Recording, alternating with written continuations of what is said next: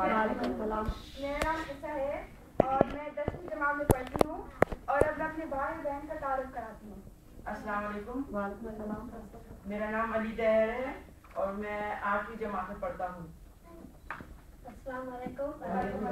मेरा नाम है और मैं सातवीं जमात में पढ़ता हूँ।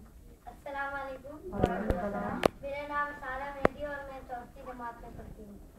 और अब हम लोग पाकिस्तानी हम लोग एक पाकिस्तानी तराना